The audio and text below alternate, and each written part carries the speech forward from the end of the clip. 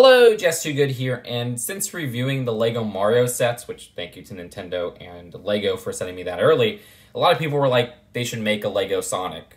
And I don't know if they know that LEGO did make a Sonic minifigure back in 2016. You see, this was released in a LEGO Dimensions level pack.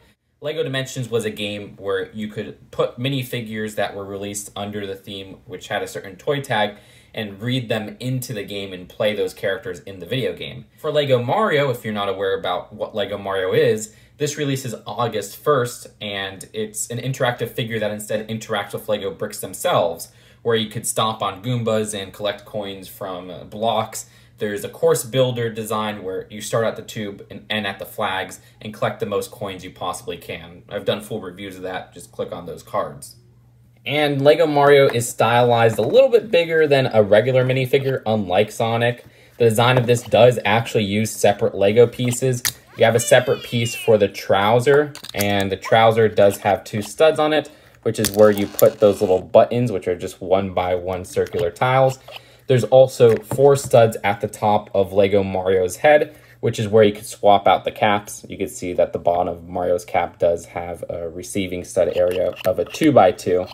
The design of LEGO Mario does incorporate batteries which interact and have this reader at the bottom that can actually read certain plates and everything, which is really cool. Lego Sonic is more close to what we'd expect from Lego with the minifigure styling, but he only had that one level pack.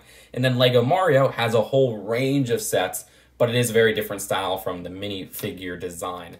But I just wanted to do this quick video to kind of show the two side by side because Mario and Sonic have been rivals since 1991 when Sonic started. Again, the Sonic figure is actually kind of rare now because it was part of that level pack and only that level pack. There was never more sets, though we do have the possibility of having a Sonic Mania set come from LEGO Ideas. But that's it. Let me know in the comments which one you like better, LEGO Mario or LEGO Sonic. So that's it for now. I'll see you guys later. Peace out. Bye.